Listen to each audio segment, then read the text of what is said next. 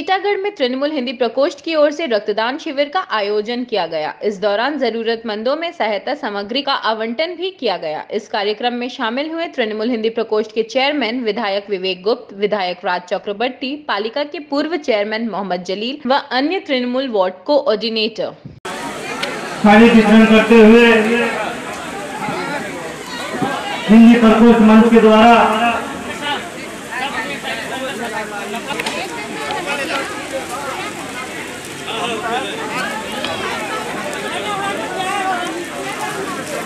Diesel के दाम पर ममता बनर्जी यूपीए सरकार पे इस्तीफा देकर आ गई था।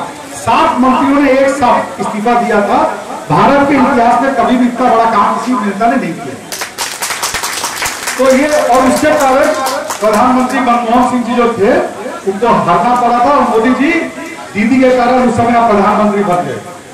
तो ये दीदी अगर 2013 में पेट्रोल, डीजल के लिए सड़क पर उतर कर प्रधानमंत्री बदल सकती है तो 21 जुलाई के बाद आने वाले दिनों पर अगर दीदी सड़क पर उतर गई तो आपको दिल्ली में घटना मुश्किल हो जाएगा।